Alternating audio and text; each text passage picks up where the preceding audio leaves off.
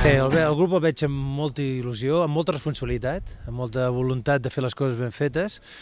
I sí, certament ara ja a dinar, a començar a posar-nos ja en situació, l'equip està, està... hem tingut poc temps, però crec que l'hem aprofitat molt bé i crec que arribarem per competir amb dignitat i segur que l'equip estarà a l'alçada. Tots estem molt receptius, tots volem donar tot el millor de nosaltres, eh, posar-ho tot al servei del col·lectiu. Avui eh, hem d'oblidar, fem un reset de tot el que venim acumulant de tot aquest temps passat, de, de, les, de diferents circumstàncies que envolten a cada un de, dels jugadors en el seu, cada un dels seus equips. Ara ja tots són els, la selecció catalana i tots a una per intentar fer-ho tan bé com puguem a València.